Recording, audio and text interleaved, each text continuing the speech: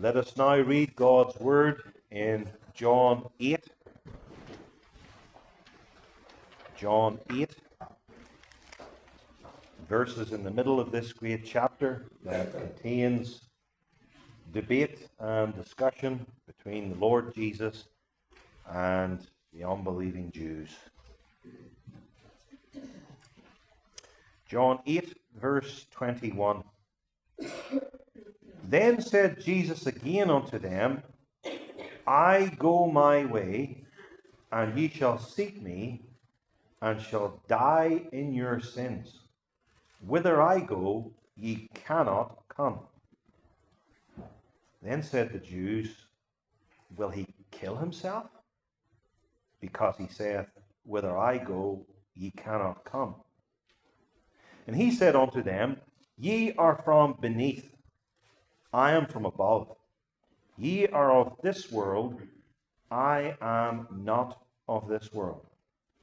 I said therefore unto you that ye shall die in your sins. For if ye believe not that I am, ye shall die in your sins. Then said they unto him, Who art thou?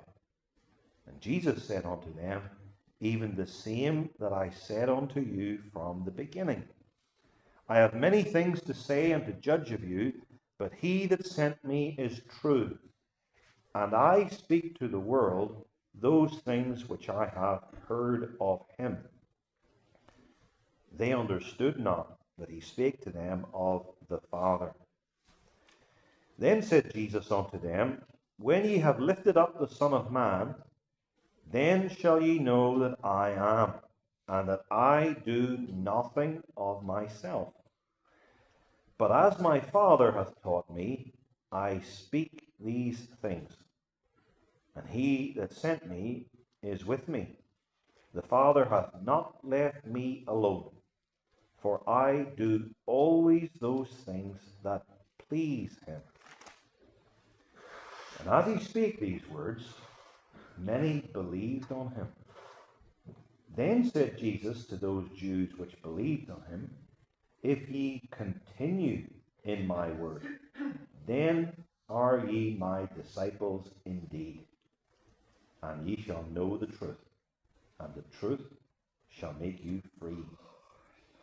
They answered him, We be Abraham's seed, and were never in bondage to any man. How sayest thou, ye shall be made free. Jesus answered them, Verily, verily, I say unto you, whosoever committeth sin is the servant of sin. And the servant abideth not in the house forever, but the Son abideth ever. If the Son therefore shall make you free, ye shall be free indeed. I know that ye are Abraham's seed. But ye seek to kill me, because my word hath no place in you. I speak that which I have seen with my Father, and ye do that which ye have seen with your father. They answered and said unto him, Abraham is our father. Jesus saith unto them, If ye were Abraham's children, ye would do the works of Abraham. But now ye seek to kill me, a man that told you the truth, which I have heard of God. This did not Abraham. Ye do the deeds of your father. Then said they to him, We be not born of fornication. We have one Father, even God. Jesus said unto them, If God were your Father, ye would love me for I proceeded forth and came from God, neither came I of myself, but he sent me. Why do ye not understand my speech? Even because ye cannot hear my word. Ye are of your father, the devil, and the lusts of your father ye will do. He was a murderer from the beginning and abode not in the truth, because there is no truth in him. When he speaketh a lie, he speaketh of his own, for he is a liar and the father of it. And because I tell you the truth, ye believe me not. And which of you convinceth me of sin? And if I say the truth, why do ye not believe me? He that is of God heareth God's words. Ye therefore hear them not, because ye are not of God. Amen.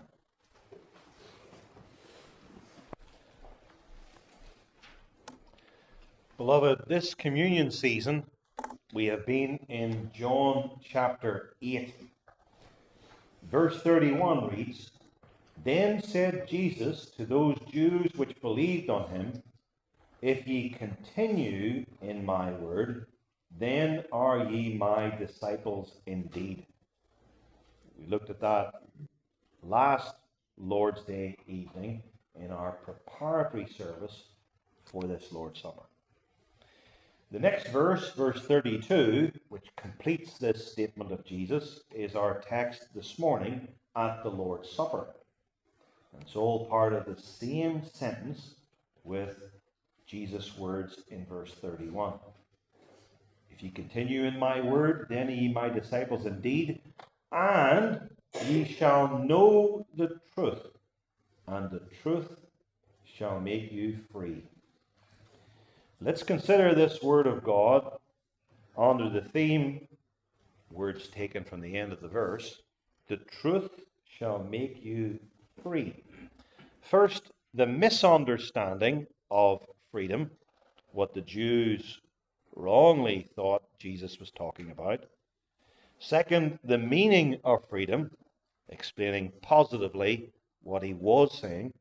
And third, the means of freedom, how it is God grants this liberty to his people.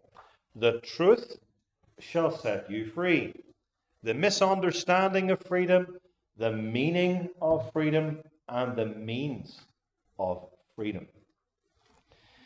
When Jesus said, verse 32, Ye shall know the truth, and the truth shall make you free how did the Jews, the church of that day, respond?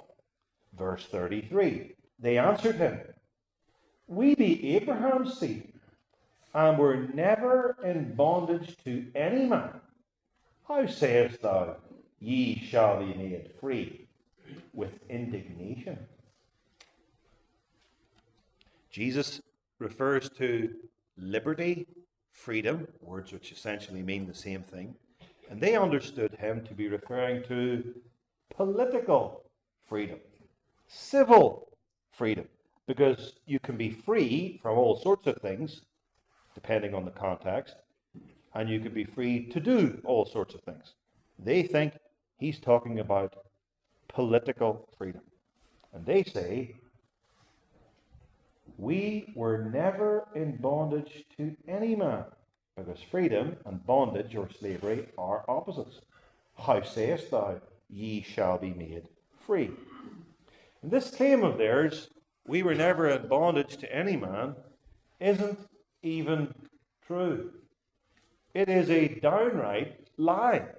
It is so palpable a lie that you almost boggle that the Jews here were so stupid and blind even to say it. Who ruled over the Jews at that time? The Romans.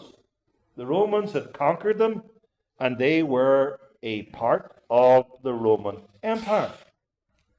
And before that, they had been a tiny tributary of three other mighty empires the Greeks, the Medo Persians, and the Babylonians. And earlier, Israel had been ruled for different periods of time by other peoples, the peoples of Syria, Philistia, Ammon, Moab, Amalek, the children of the east, and others. And even Israel as a nation began its life as a nation as slaves. Slaves in Egypt working on Pharaoh's impressive building projects. And yet they say, We be Abraham's seed, and were never in bondage to any man. How sayest thou, ye shall be made free? And even when the nation wasn't subjugated by its enemies, individual Jews were slaves. Joel chapter 3 mentions slaves being taken from the Jews and carted as far off as Greece. Nehemiah 5, verse 8, has Nehemiah remonstrating with some of the Jews who enslaved their neighbors, fellow Jews, and said, Look, we've been spending our money to redeem from slavery Jews taken captive by the pagan nations. And even Jacob's greatest son, Joseph, was sold into slavery in the book of Genesis. Sold into slavery by his ten older brothers.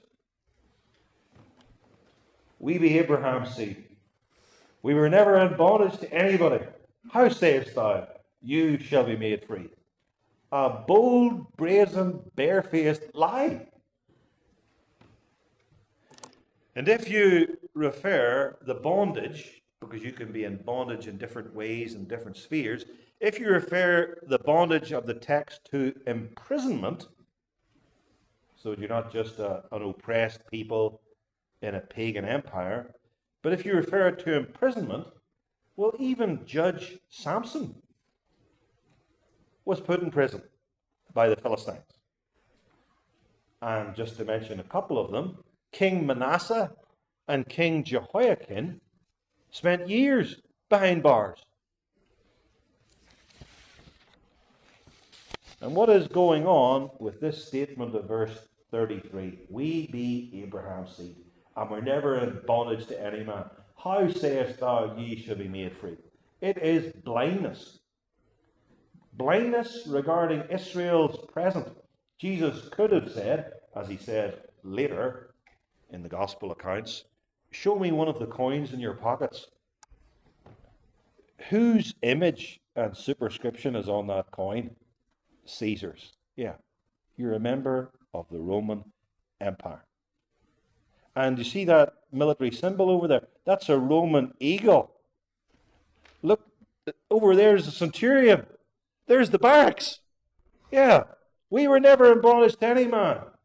What do you think Simon Zelotes and the Zealots were all about if it wasn't for raising up a rebellion to gain national independence or liberty? And when you say we were never in bondage to any man, you are blind about your past your own history. And I recited some of it earlier. You are blind as to Scripture, God's own word, and you claim to be very knowledgeable of the Word of God. Have you never sung the last few verses of Psalm 106, which we sang, all about Israel in captivity and praying that God would bring some of his people back from bondage? I mean, what's wrong with you people? And this is the blindness, stupendous as it is, it's even hard to understand that somebody could be so blind. This is the blindness of pride. And there isn't anything that keeps people from what's obvious, but everybody else can see as our own pride. And pride especially keeps unregenerate man from seeing his own wretched and shameful condition. This is the position we're in now. Shameful. We're under the Romans. So much of our history involves shame. And I just don't want to look at it. I don't want to think about it. I ignore it. And pride produces spiritual cataracts and glaucoma and myopia and any other disease or weakness of the human eye that you might be able to think of. And you say to yourself, wow, what were those Jews doing? Isn't that terrible? There's these people back there, and that's what they did. It's a good job we're so much better today.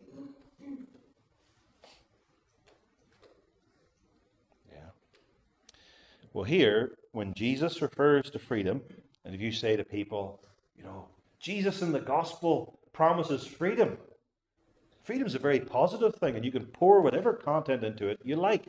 People think, oh, good, I want to be free.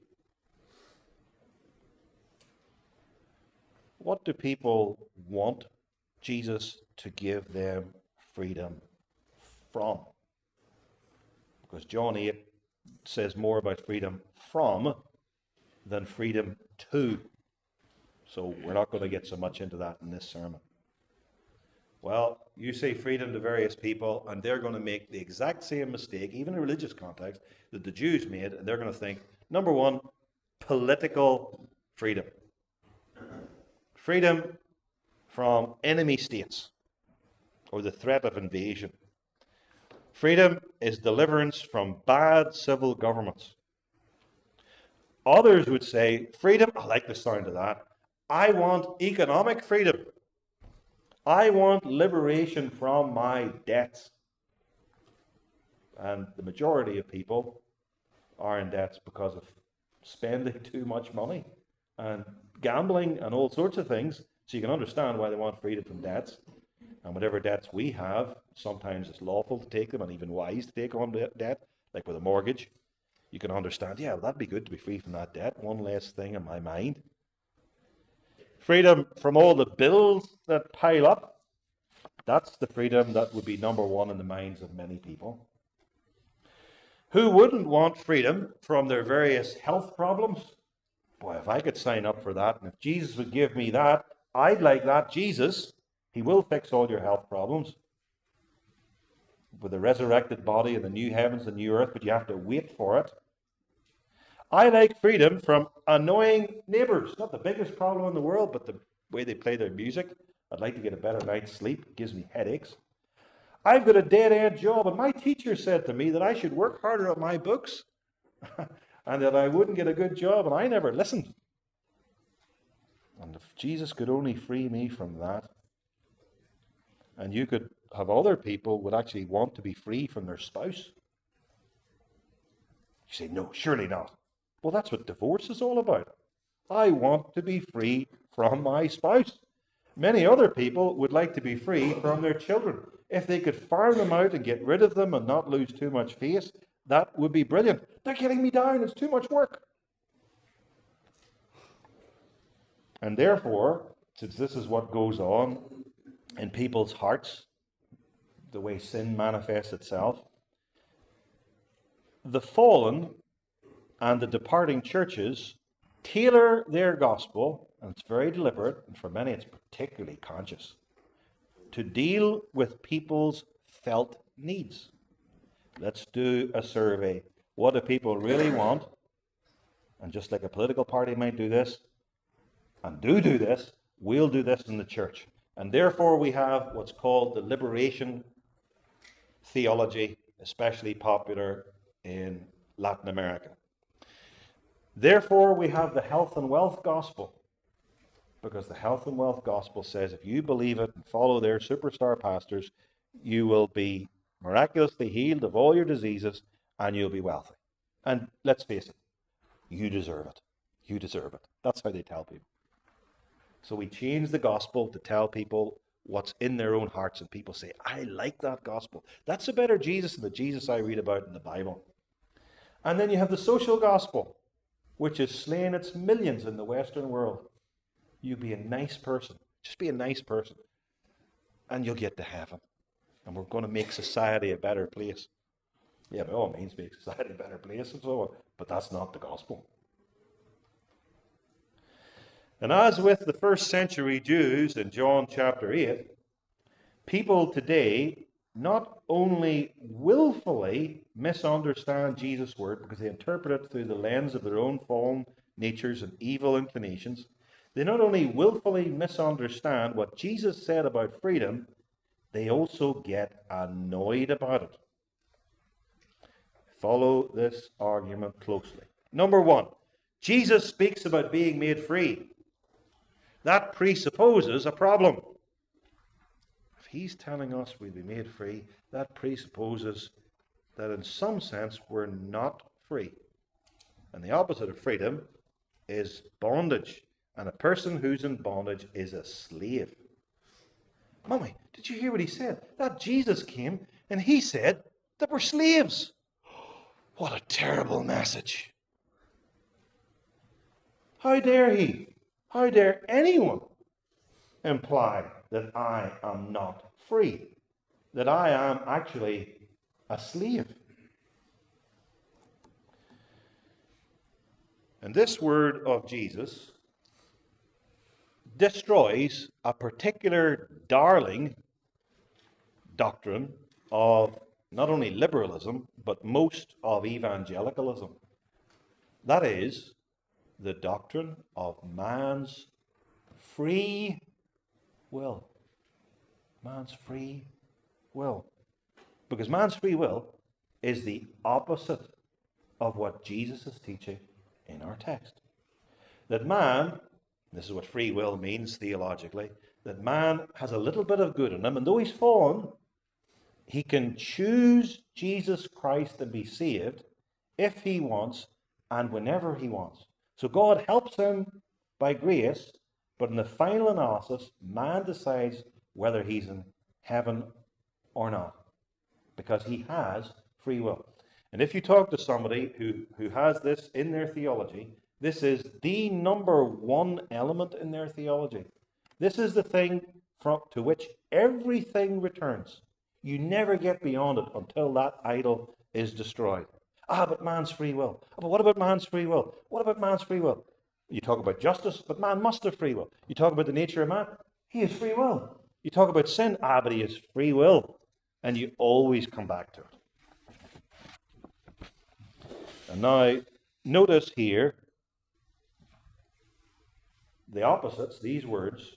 There's man's free will. That's the heresy. And then there's the orthodox doctrine of the bondage of the will. One's about man's will being free, so that I can choose Jesus. Doesn't require God's almighty grace giving me a new heart. It lies in my choice. And the bondage of the will. Man's either free or he's a slave. Man has the liberty to turn to God in Christ, or he is a slave and he cannot do it. He's trapped with handcuffs and foot cuffs, if there is such a thing. He's bound in trust, and he's impossible for him to do it. He cannot. One says man can, the other says no, he cannot unless God gives him a new heart, unless grace works omnipotently and changes him. And this is man's blindness. He's blind to his present blindness because he doesn't see it, he's a slave. He thinks, no, I can believe. Okay. Any unregenerate person, come to them and say, you, you have the power to believe in Jesus. Now, do it. Believe in Jesus. Go on, do it. We want them to believe, we pray for that, but that person will discover that they actually can't. Repent, turn from all your sins, die to yourself, and believe in Jesus Christ alone as the only Savior. It's as much an impossibility as flying to the moon by raising your arms up and down. You actually cannot do it. It's a psychological impossibility. Man is blind to his past blindness. Did you believe when you were five, or 10, or 15, or 25? Did you believe when you heard the gospel then? Did you believe whenever you were brought to your knees of some terrible event and you thought, boy, maybe there's a God out there and he's doing things to my life? No, you still didn't believe. And maybe you thought you believed or you said, Lord, I'm sorry, and the next day you were wallowing in your own sins again. You didn't believe back then because you weren't free. You don't believe now because you're not free. A blindness to the human history. Read history. Wow, it's fascinating. Very, very interesting. But you will see that man is totally depraved. It's just one sin after another sin. And this society, current day, sins in different ways. And that other society has got its own sins and proclivities. And then you go back in history through each century, you say, man is the same through it all. He's a sinner. and it is blindness to Scripture's teaching. Here is the word of the Apostle Peter, who was there that day in John chapter 8. John, 2 Peter 2, verse 19. While they promised them liberty, while they promised them liberty, another word for liberty, freedom, they themselves are the servants, literally slaves, of corruption. For of whom a man is overcome, of the same is he brought into bondage or slavery. I repeat, while they promise them liberty, you're free, you're free. They themselves are the servants or slaves of corruption. Here's the argument if someone overcomes you, then that person has brought you into slavery. And that's the condition of man through the fall. And we'll say more about that later. And this blindness in human nature is arises from pride. Verse 33 the Jews said indignantly to Jesus, You will know the truth, and the truth will make you free. We are Abraham's seed. We were never in bondage to any man. How sayest thou, ye shall be made free? And what in theological language in the 21st century is that? How dare you say I'm a slave to sin? We're still in the image of God in some sense. There's a little bit of divine goodness in us. We've still got that ability to choose Christ. We still have this free will, though we do need some help. And then you're saying that the will is enslaved. Yes. And this is the heart of the Reformation gospel the bondage of the will. People say you can't do anything with that doctrine. That doctrine's going to put people off. Though that doctrine could start the Reformation. And it did 500 years ago. In his reply to the Jews, Jesus makes clear that he is speaking about liberty or freedom from the bondage of sin. Follow the passage carefully. Here's Christ's statement, verse 32 Ye shall know the truth, and the truth shall make you free. Here's their misunderstanding, verse 33 the Jews. We are Abraham's seed. We were never in bondage to any man. How sayest thou, ye shall be made free? Christ's explanation, verse 34 Verily, verily, I say unto you, this is the pure truth. Whosoever committeth sin is the servant or slave of sin. So you've been overcome by sin, therefore you are the slaves of sin. Just like 2 Peter 2, verse 19. Have you sinned? Yes, you're a slave of sin. There you are. You don't have free will. Freedom from sin. You will know the truth, and the truth will make you free from sin. And at this stage, let's say we had a thousand people in the local area tuning in. This is the stage where many people would turn off. I thought I was going to get a freedom that I wanted. And then the ministers talked about freedom from sin. I have no interest in that message whatsoever. But what does it mean, freedom from sin? Well, staying with John 8, it involves the freedom from the condemnation of sin. And the condemnation of sin is that you are guilty before God. And this guilt most definitely brings punishment eternal, awful punishment. John 8, verse 10.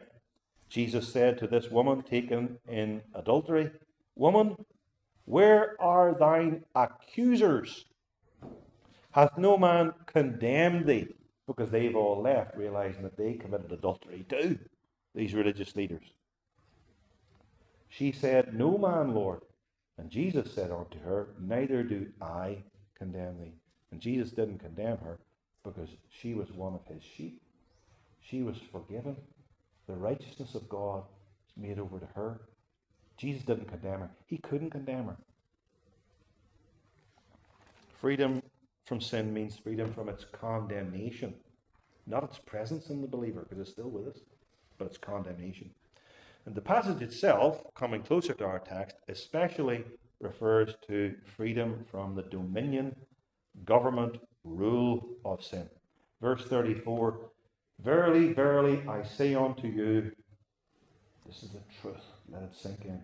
Whosoever committeth sin is the servant or slave of sin.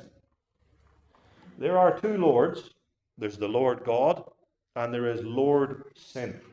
And Lord sin, he speaks authoritatively, and for most people, his commands are the only thing that they ever really obey. And Lord sin says to all of his citizens, You must always and only sin. And you know what? Every last one of his citizens always and only sin. And it's just a choice of one sin or another sin, a lesser sin or a greater sin. But the only choice is this is man's free will. Which sin will you commit? How deeply will you go into it? Lord Sin says to all of his citizens, You cannot do good in God's eyes. You cannot perform a single good work, because a good work is done out of faith, and you don't have work. You don't have faith. It's done according to God's law, and you couldn't care less about God's law. And it's done to God's glory, and all you're interested in is yourself. So you cannot do good. And every one of his citizens are trapped in that, and they don't do good, because there's none that doeth good, no, not one, apart from irresistible grace and regeneration. Lord Sin says to all of his citizens, You cannot believe in Jesus. Cannot. Verse 45. Because, Jesus said to these people, Because I tell you the truth, ye believe me not. Jesus, in effect, saying, I could have told you anything under the sun. And you know what? Many of you would have believed me. I thought that.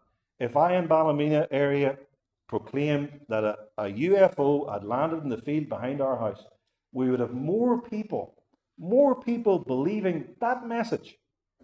Any cock and bull story you can invent than the gospel of Jesus Christ. Jesus says, Because I tell you the truth, you believe not. That's why you don't believe. I told you the truth. Because you cannot believe the truth. You're slaves. You can't. You cannot, Lord Sin says to all his citizens, you cannot truly and spiritually understand the word of Jesus Christ. Verse 43 Jesus asked them, why do you not understand my speech? Think about it. Why? Why? Why don't you understand? Answer. Jesus gives it. Even because you cannot hear my word. You can't do it. Utter spiritual impossibility. You cannot. Good Lord sin says, I have you. I have you by the hands behind your back and hand. I have you by the throat, and I will not let you go. And the only thing that can release somebody from that is irresistible grace of the Holy Spirit in Jesus Christ. Lord sin. Lord sin. And he shows his lordship over the ungodly and unregenerate by what has to be a, described as a master move. He actually makes his citizens believe that they are free. And they say, Well, I am free to do whatever I want and you know, money permitting and health permitting, you are free to do a fair bit of what you want. And then he says, well, you know, you're free to believe in Jesus anytime you want. And theologically, this converts over to, I have free will. No, you don't. It's just another lie. You're deceived.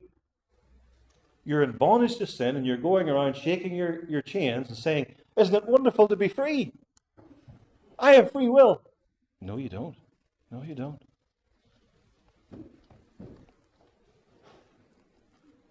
Second, when Jesus explains the meaning of freedom, freedom from sin and its bondage, Jesus explains in this passage that he is speaking about freedom from slavery to Satan. To Satan. Jesus here tells these Jews that the devil is their father. And he introduces it fairly slowly. And he says some things, and the people must be saying, oh, he's talking about Father here now. What is he getting at? Verse 38 I speak that which I have seen with my Father, God, and ye do that which ye have seen of your Father. And they're going, Who does he think our Father is. And then verse 39, they say, Abraham's our father. Verse 41, ye do the deeds of your father. And then they say, well, we weren't born of fornication. We have one father, even God. And so Jesus explains, verse 42, if God were your father, you would love me. Because I proceeded forth and came from God. And if Abraham were your father, you would do the works of Abraham, but you don't do the works of Abraham because you're trying to kill me. God's not your father. Verse 44 Ye are of your father the devil, and the lusts of your father you will do. He was a murderer from the beginning, and abode not in the truth, because there's no truth in him. When he speaketh a lie, he speaketh of his own, for he is a liar, and the father of it. And now the devil is an evil father, highly abusive. He's a tyrannical lord. And the devil, he says to all of his citizens, similar to sin, you will not and you cannot trust in Christ. And he says that authoritatively. And not one of his children ever disobey, apart from those whom Jesus effectually calls out of darkness. You must always, says Father Satan, you must always and only sin. And he gets a 100% obedience. If only we as parents had that with our own children, if only the elders had that with everyone in our church, if only we had that as new, as new believers, whoa. But the devil, he always gets his children to obey him. They're trapped. Verse 41 Ye do the deeds of your father. Ye do them. Verse 44 Ye are of your father the devil, and the lusts of your father ye will do. And here the word will isn't a future. You shall do the deeds of the devil. Will means you want to do it. You enjoy doing it. You love doing it. Your heart's desire is just one sin of another. And here again we end up with the strange anomaly of willing slaves. People love themselves, naturally. They love their sin, and they do not want to stop it. That's why they don't go to hear the gospel. That's why they don't seek God. That's why they don't pray. That's why they watch television on the Lord's Day and most of the trash that's on there. And they do anything under the sun to keep them from following the Lord. Yes. Freedom, Jesus is explaining in John 8, is from sin and Satan and slavery to them. And third, he's dealing with freedom from death. And at this stage, some people would say, Well, I like that message freedom from death. I don't want to die. I'd like to live forever. Although more and more people in the Western world actually do want to die. I think it be we should we should legalize it and make it a virtue and be a really good old person by putting themselves to death legally assisted. And our civil government now wants to push this conversation, just as they want to promote transgenderism and ban the church from converting homosexuals and transgenders, making it criminal activity. Verse 51 I seek mine own, verse 51, rather. If a man keep my saying, he shall never see death. And then the Jews are troubled by that saying, and they repeat it in verse 52. Thou sayest, If a man keep my saying, he shall never taste of death. And then they say, But Abraham, Abraham died. What are you saying? Believe in you and you're never going to die? What is this? They hadn't been listening to Jesus when he said earlier in verse 21, I go my way, referring to his death on the cross and return to the Father.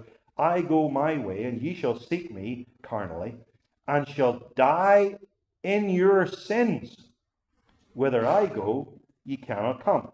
Verse 24 I said therefore unto you that ye shall die in your sins. For if you believe not that I am, ye shall die in your sins.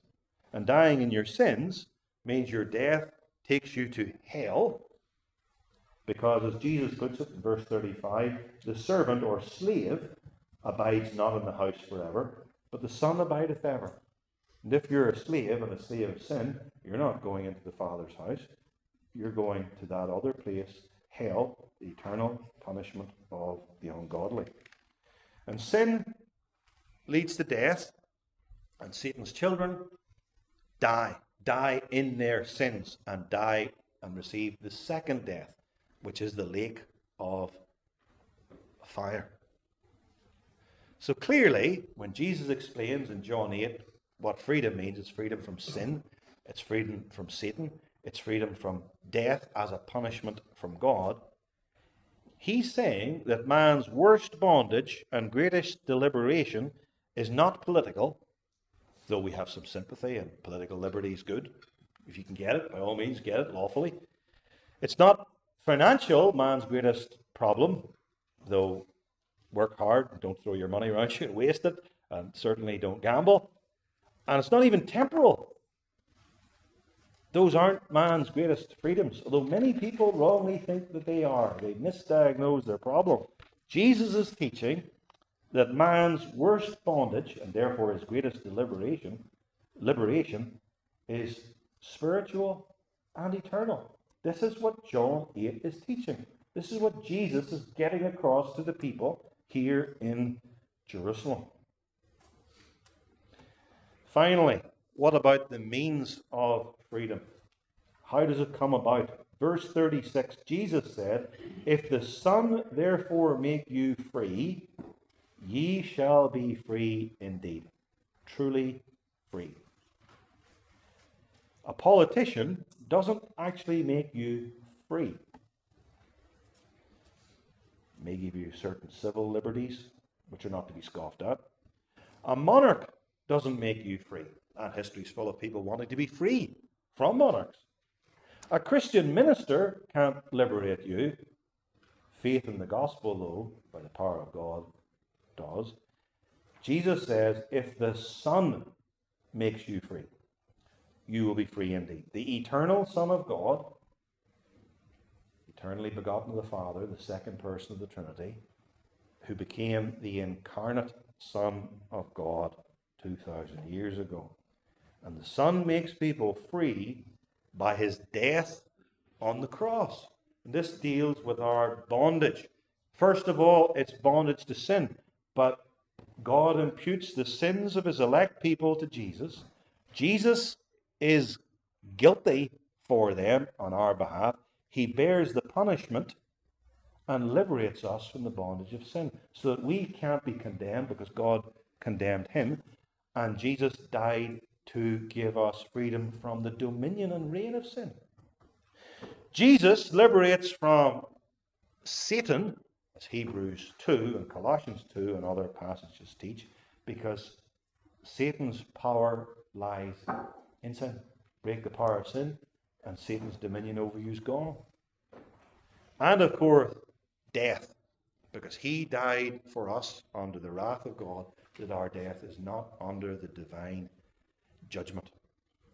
Death has lost its sting, because the sting of, of death is sin. And our death isn't a punishment from God. Our death, the death of God's people, is a passageway into eternal life, though it still feels pretty awful, no doubt, if it's a long drawn out thing. And medically, you're the same as the guy dying in the bed next to you, but it's lost its sting. And Jesus makes us free on the basis of his cross and by infusing into us the divine life at regeneration. John 5, verse 21 The Son quickens, regenerates, gives life to whom he wills or wishes, desires, or wants. And the giving of life to us is the giving of liberty to us freedom from the slavery to sin and Satan and death. And this is freedom to freedom to believe the gospel of Jesus, something you never had before. And Christians converted in later life can remember I was in a church meeting. I heard the gospel. I screwed up my face. I just couldn't believe in Jesus. And then one time I could because God renewed my will. Freedom to understand the Word of God. And little children in their sleepier moments of catechism think that's not such a big deal. Oh, it actually is. Jesus talks about that's part of your salvation. Freedom to love God and the neighbor because you're a slave and you never do it otherwise. Freedom to do good works out of gratitude. To live as a human being ought to live, though very far from perfectly. And here's Jesus. He makes us free, John 8 says, and he makes us free by use of the truth. Ye shall know the truth, and the truth shall make you free. So Jesus makes you free, and the truth makes you free.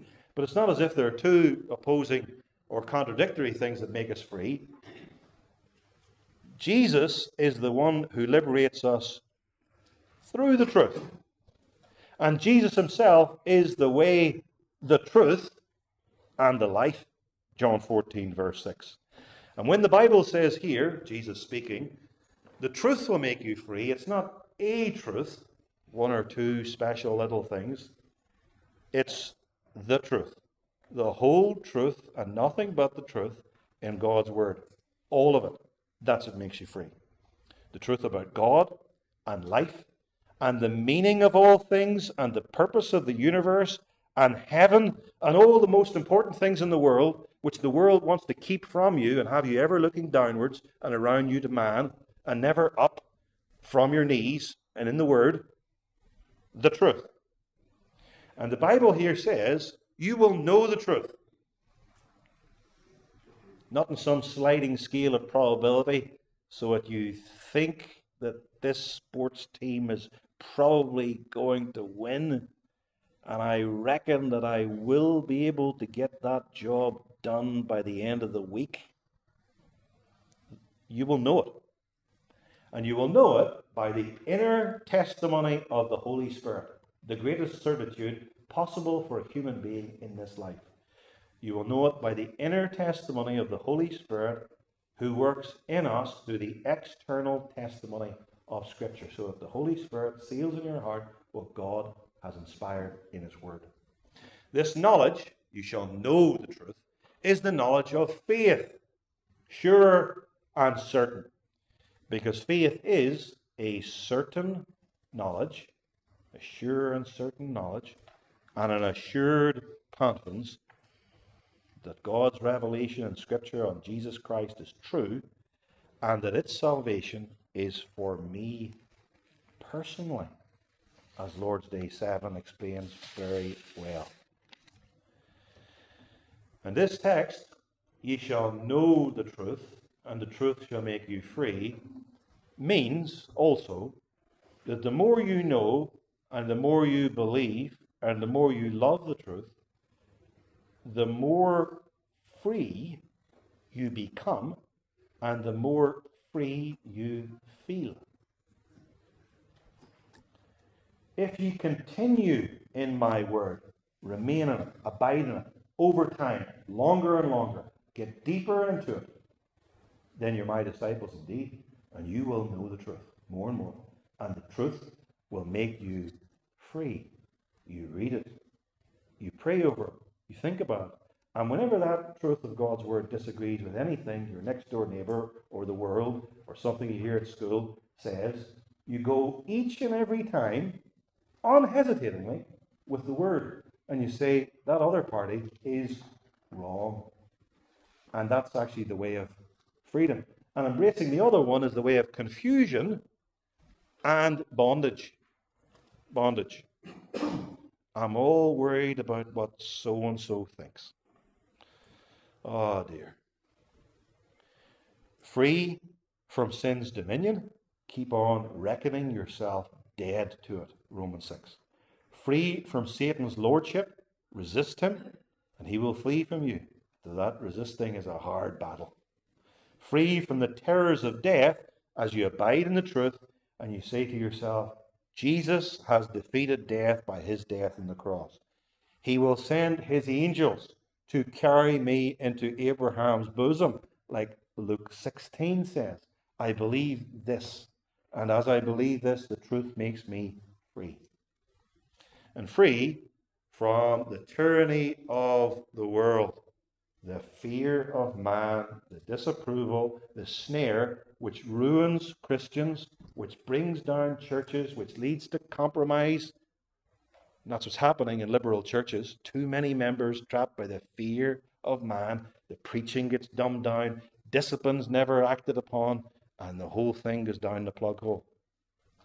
You want a church consisting of free men and women who worship God and serve Him alone.